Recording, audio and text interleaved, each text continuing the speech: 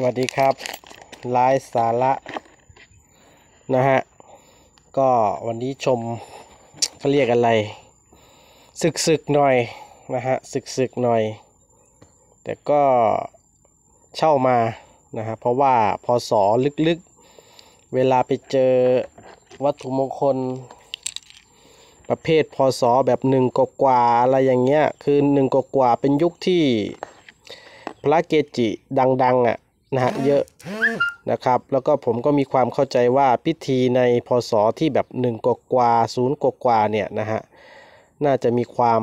เข้มขลังแล้วก็ศักดิ์สิทธิ์อืมผมก็เลยต้องเช่ามาประเภทอ่าหนึ่งกกว่าถ้าเจอนะแต่ถ้ามาค้นประวัติไม่เจอก็ไม่เป็นไรนะฮะ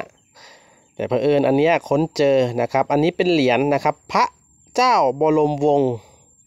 เธอกรมหลวงประจักษ์ศิลปาคม กรมหลวงประจักษ์ก็เป็นอะไรเป็นพ่อเมืองอุดรไหมถ้าจำไม่เป็นเจ้าเมืองอุดรเนาะผมถ้าเข้าใจผิดขออภัยนะฮะแต่อยู่อุดรนั่นแหละอ่าอ่าบรมอะไรนะพระเจ้าบรมอะไรเนี่ยโอ้ยอ่านยากเนาะมันเก่าแล้วไงนะครับกรมหลวงประจักษ์ศิลปาคมเนี่ยนะฮะด้านนี้เป็น เออนี่ก็เป็นรูปหล่อเต็มตัวด้านหลังก็เป็นครึ่งองค์นะครับ ก็เหรียญเนี้ยนะฮะก็ก็จัดสร้างขึ้นในวโรกาสที่เขาสร้างออนุสาวรีย์นะฮะแล้วก็นี่เห็นไหมเขาจะระบุไว้ด้วยว่า พระบาทสมเด็จพระเจ้าอยู่หัวนะฮะรัชกาลที่9นะครับอ่าทรงนะฮะเปิดอนุสาวรีย์นะครับก็คือในหลวงรัชกาลที่9นะฮะทรงพระราชดำเนินนะครับ แล้วก็มาทำพิธีเปิด อนุสาวรีย์นะครับวันที่สิบมันมันอ่านไม่ออก ผมไม่ได้ผมดูเน็ตอยู่แต่ว่า เออแต่จำไม่ได้ไง อ่านที่เรียนเอาก็แล้วกัน วันที่สิบเอ็ดนะครับ มีนาคม เออสองห้าหนึ่งสี่หนึ่งสี่นะไม่ใช่ศูนย์สี่นะครับตามข้อมูลเขาบอกเป็นปี 14 นะครับ ไม่ใช่ 04 นะ 14 นะครับเหรียญก็จะมีแบบ แบบตอกโค้ดกับไม่ตอกโค้ดนะครับ ถ้าตอกโค้ดเขาจะตอกบริเวณนี้แหละนะครับ เป็นโค้ดโค้ดนะเออโค้ดยันนะ แต่อันนี้ก็มีแบบตอกโค้ดกับไม่ตอกโค้ดอันนี้ อันนี้เจ้าของเดิมเนี่ยน่าจะน่าจะเลี่ยมแขวนจนแบบโอ้จนสึกเลยนี่นะฮะที่สึกเพราะอะไร เพราะว่ามีประสบการณ์เกี่ยวกับคนคนแขวนเขานั่นแหละ คนที่เขาแขวนเนี่ยเขามีประสบการณ์นะครับคนก็จะแขวนมานานแล้วแหละนะครับ แล้วก็มีประสบการณ์เขาก็เลยแขวนอย่างนี้มาเลย สภาพก็เลยสึกหน่อย ราะว่าสมัยก่อนคงจะไม่ไม่ยังไม่ได้ยังไม่ได้เลี่ยมกรอบอะได้มาแล้วก็แขวนเลย แขวนเพราะอะไร เพราะว่าหนึ่งก็มีความเรียกนะศรัทธาต่อต่อองค์อ่ากรมหลวงประจักษ์นี่แหละนะครับสองก็พิธีปลูกเสกเนี่ยนะเป็นวิธีดีพิธีใหญ่ แล้วก็ที่สำคัญก็ในหลวงนะครับเสด็จพระราชดำเนินเปิดอนุสาวรีย์ด้วยนะครับก็มีความสำคัญนั่นแหละนะครับระดับจังหวัดระดับประเทศด้วยซ้ำมั้งเพราะว่าระดับ เขาเรียกอะไรพระมหากษัตริย์นะพระราชดำเนินนะครับผมก็เลยคนก็เลยแขวนเนาะดูจากสภาพนี่เออผมก็เลยเก็บมาด้วยนะครับอืมผมก็ว่าต้องมีความสำคัญแล้วก็พศนี่เห็นว่าใช้ได้เลยนะครับเขาบอกเขาบอกว่าเหรียญเนี้ยนะฮะปลูกเสกโดยพระป่านะครับพระป่าคือพระสายกรรมฐานนั่นแหละก็คือสายของหลวงปู่มั่นนะเป็นพระป่าอ่าเป็นพระสายสายกรรมฐานนะครับก็คือ สายหลวงปู่มั่น หลักๆเขาก็บอกว่าเป็นหลวงปู่อ่อนสาเออหลวงปู่อ่อนสาหลวงปู่ฟั่น แล้วก็หลวงปู่ขาวปลูกเสกนะครับแล้วที่สำคัญเนี่ยก็บอกยันด้านหลังเนี่ยเนี่ยเนี่ยยันด้านหลังเนี่ยขยุกขยุยเนี่ยนะผมอ่านไม่ออกหรอกแต่เขาบอกว่าข้อมูลว่าเป็นยันเป็นยันพญานกยุงทองนะครับเป็นยันพญานกยุงยุงทองนะครับซึ่งยันพญานกยุงทองเนี่ยนะครับส่วนมากเนี่ยพระสายวัดป่าเนี่ย นะพระสายหลวงปู่มั่นหรือสายวัดป่าเนี่ยจะนิยมนะจะนิยมใช้นะฮะจะนิยมใช้ยันเนี้ยนะฮะเกือบทุกรุ่นเลยที่สร้างพระเครื่องของสายหลวงปู่มั่นเนี่ยนะฮะจะใช้ยันเขาเรียกยันยันนกยุงทองเนี่ยมหามหายันยันมหานกยุงทองเนี่ยนะฮะจะใช้กันแบบหลาย ๆ รุ่น มักจะมียันตัวนี้กำกับอยู่ แล้วก็เขาว่านะตามข้อมูลเนาะผมก็เกิดไม่ทันหรอก แล้วก็ไม่ได้ไปศึกษาอะไรเยอะ ตามข้อมูลเขาก็บอกว่า สายลวงปู่มั่นเนี่ยนะฮะเขาจะนิยมอ่าเขาเรียกบริกรรมคาถาอ่าคาถานกยุงทองเนี่ยหรือมันเป็นคาถาอะไรนะ อะไรปริตปริตอะผมจำไม่ได้ เป็นเป็นคาถาพระปริตนั่นแหละหนึ่งในคาถาหนึ่งในมนพระปริตนั่นแหละ แต่เรียกว่าคาถานกยุงทองแต่ผมจำไม่ได้จำได้แต่ว่าเป็นมนพระปริตนั่นแหละนะฮะมนพระปริตก็มีพระปริตอะไรบ้างที่เขาต้องสวดอ่าพระปริตอะ นะฮะผมไม่ได้คือผมไม่ได้สวดมนต์ไปถึงขนาดนั้นนะผมสวดแค่พาหุงกับชินบัญชร ผมก็สวดแค่สองบทนี้เป็นหลัก แต่พระปริตไม่ได้ไม่ได้สวด เพราะว่ายาว เอาแบบผมก็สวดแบบแบบเอาแค่นี้พอเอาแค่แบบคุ้มตัวพอเอาแบบพาหุงกับชินบัญชรนะครับ แล้วก็อย่างอื่นนิดๆหน่อยๆแต่ว่าในบทพระปริตเนี่ย นะครับผมก็ไม่ไม่ไม่ไม่ค่อยได้สวดแล้วก็ไม่ได้สวดเลยอะพูดง่ายๆนะครับแต่เขาเขาบอกว่าเป็นบทหนึ่งพระปริตนั่นแหละเป็นคาถานกยุงทองนะครับ ให้พุทธคุณโดดเด่นทางด้านเมตตานะฮะเมตตามหานิยมนะครับเมตตาแคล้วคาดประมาณนั้นแหละนะมุดอะไรนี่แหละจำอ่านไม่ออกหรอกเออแต่ก็จะอยู่ในพระเครื่องของหลวงปู่ฟั่นแทบแทบแทบขอกแทบทุกรุ่นนะครับก็เรียกเป็นคาถา เป็นยันเออเป็นยันมหานกยุงทองนะครับณวิมุตตะนางวัดนิมิมุตตะยะอะไรประมาณสักอย่างเนี่ย ผมออกเสียงไม่ถูกหรอกว่าผมไม่ใช่คนเรียนล่ำเรียนคาถาอะไร ผมเป็นแค่คนสะสมพระเครื่องเฉยๆนะครับ ไม่ได้หนึ่งก็คือไม่ได้ทำการซื้อขายเป็นอาชีพสองก็ไม่ได้ศึกษาจนแบบว่าต้องไปปฏิบัติ นุ่งขาวห่มขาวอะไรขนาดนั้น คงไม่ได้รู้ลึกอะไรขนาดนั้น เอารู้แบบคร่าวๆเนาะนะครับ ประมาณนั้นแหละ นะครับปี 2514 นะครับปลูกเสกดีนะครับ พระก็มีประสบการณ์นะครับ ส่วนมากก็ ส่วนมากก็ออกไปทางเมตตาแคล้วคาดนั่นแหละนะครับ สายวัดป่านะครับ ประมาณนั้นนะครับผมก็แต่อันเนี้ยนะเป็นรูปที่ไม่ใช่ไม่ใช่ไม่ใช่รูปพระพุทธนะครับ เป็นรูปของกรมหลวงประจักษ์นะครับ ก็ใครที่เขาเรียกเขาเรียกใครที่ไม่ชอบแบบว่าแขวนพระเครื่องเนาะ นะฮะเออใครที่ไม่ชอบแขวนพระเครื่องอยากแขวนพระที่เป็นเอออยากเป็ดแขวนวัตถุมงคลที่เป็นรูปของเจ้าเมืองรูปของก็เลยกนะอ่าเขาเรียกอ่าเรียกชื่อไม่ถูกแต่เป็นสิ่งศักดิ์สิทธิ์ประจำเมืองอะไรอย่างเงี้ยพ่อเมืองเออหรือเจ้าพ่อศาลหลักเมืองอะไรประมาณนั้นอะออกแนวแนวๆนั้นเนาะ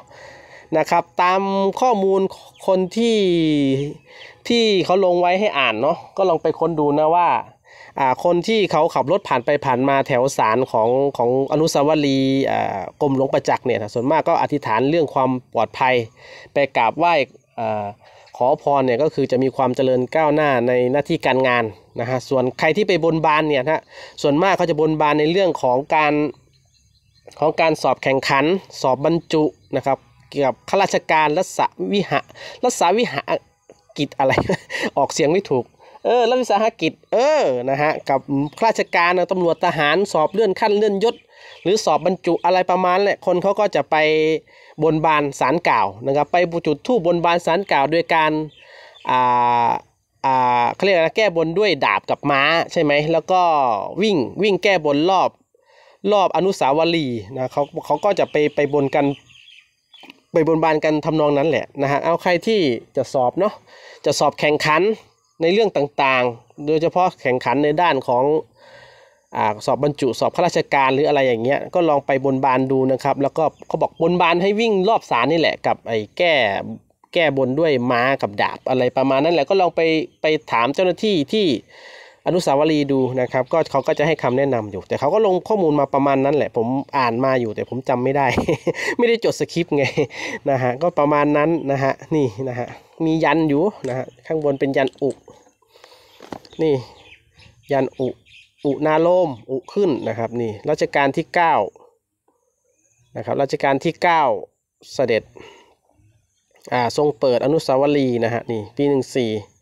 แท้อยู่หรอกนะครับ ของเก๊ไม่ไม่มีนะครับ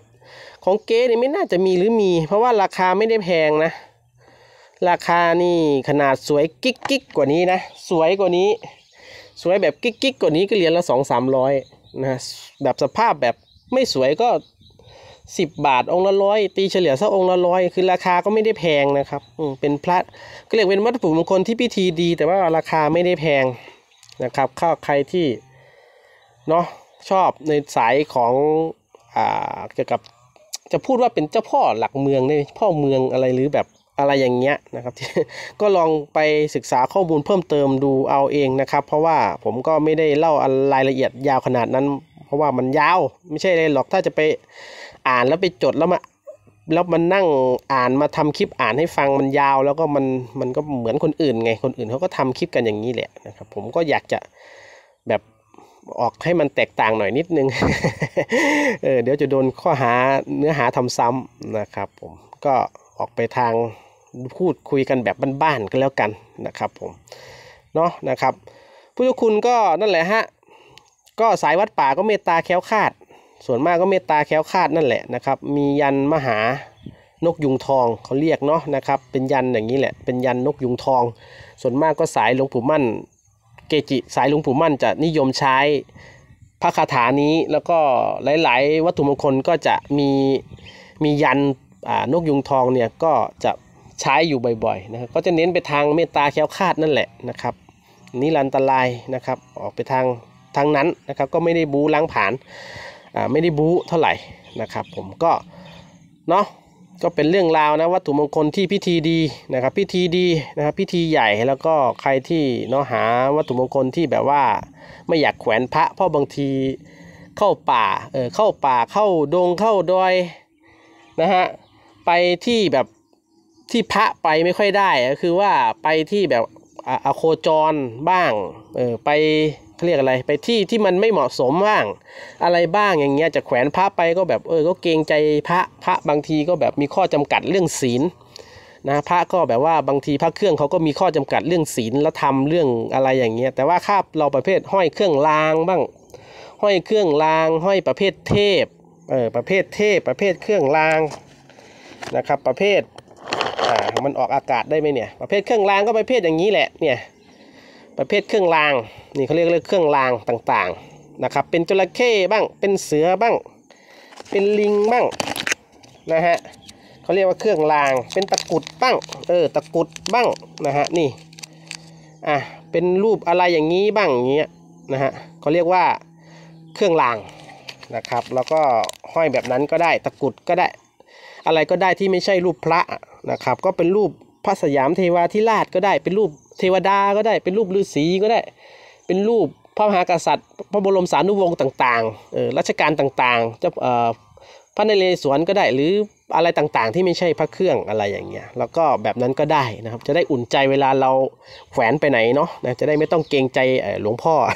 ไม่ได้เกรงใจพระนะฮะเพราะว่าพระก็บางทีจะจะทำอะไรแบบอะไรอย่างเงี้ยบางทีก็พระก็มีข้อจำกัดเหมือนกัน เกี่ยวกับรูปเหมือนที่เป็นพระพุทธแล้วก็พระสงฆ์ นะครับผมอ้าวนะครับสำหรับรายการไลฟ์สาระนะครับชมภาคเก่าภาคใหม่สลับกันไป วันนี้ก็ชมวัตถุมงคลประเภทเขาเรียกว่าเป็นประเภทอ่าวัตถุมงคลประเภท เจ้าพ่อหลักเมืองไหมเขาเรียกว่าอย่างนั้นเจ้าเมืองไหมเออคล้ายๆ แบบเหรียญเจ้าเมืองเหรียญอะไรอย่างเงี้ยเนาะนะครับก็อ่าชมกันไปเป็นข้อมูลเล็กๆน้อยเนาะประกอบกันไปนะครับ ผมก็โอเคนะครับ ถ้าชอบก็อย่าลืมนะครับ กดไลค์กด subscribe นะครับ เพื่อเป็นแรงใจเล็กน้อยนะครับ เป็นกด นี่แหละกดไลค์ให้กันกด subscribe ให้กันเป็นแรงใจเล็กๆน้อยๆให้กันนะครับคลิปก็ชมบ้างไม่ชมบ้าง ถ้าไม่ชมก็เปิดทิ้งไว้ก็ได้ เออเผื่อจะได้ไม่ต้องข้ามโฆษณานะครับเป็นกำลังใจให้กันนะครับผมอ้าวโอเคนะครับผมเจอกันคลิปหน้าสำหรับคลิปนี้ต้องขอกล่าวคำว่าสวัสดีครับผมสวัสดีครับ